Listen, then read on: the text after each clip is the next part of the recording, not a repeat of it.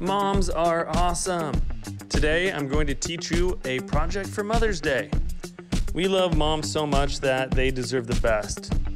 With that said, we are making them a cuff bracelet out of a toilet paper tube. Start by cutting the tube about 2 to 3 inches wide. You're going to do this twice so that you have two pieces that are roughly the same size. Glue those two pieces together. Let it dry well. For this next part, you are going to mix a little water with Elmer's glue to create a little bit of a Mod Podge. If you have Mod Podge, use it now. My video cut out for this next part, so I'm going to need to explain it. Cut up newspaper or newsprint. I used ads that came in the mail, and I dipped it in the Mod Podge or glue mixture and wrapped it around the piece of cardboard.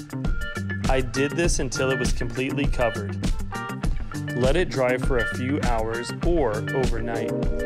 Pick one of your mom's favorite colors and paint the entire cuff bracelet.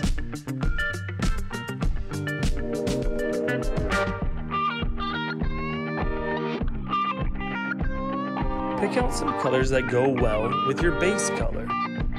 Now it's time to get creative. Add some design, some accoutrements, and make it pretty for your mama. Acrylic paints work fantastic or fingernail polish. A cool design will really make this pop on your mom's wrist.